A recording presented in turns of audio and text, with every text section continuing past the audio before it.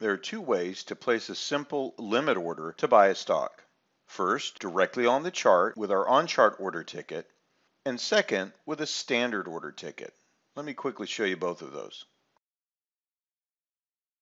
To place an order on the chart, click the Buy button at the bottom of the price pane. Choose the first selection to buy the symbol, and this is a limit order. Click on it it will drop the on-chart order ticket onto your chart already pre-filled with whatever your default order values are. You can set your limit price by simply clicking and dragging the limit line to whatever price level you want to use. Select the quantity by clicking the quantity button and you could do it on number of shares or perhaps in this case we'll choose $5,000 worth of the stock and it will get me the number of shares closest to $5,000. Now I'm ready to place the order. I click the Buy button. I get my confirmation window, which reviews the order details with me, and I click Place Order. And now I have a live buy limit order for $5,000 worth of the stock, which translates to about 78 shares, at a limit price of 64.36, good till cancel order. If I want to modify the order, I simply click and drag the limit price line and I can modify it down or closer to the market. When I let go of the limit line, I get my modify order box.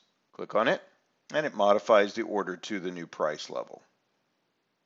To cancel the limit order before it's filled, just click the delete icon and confirm it.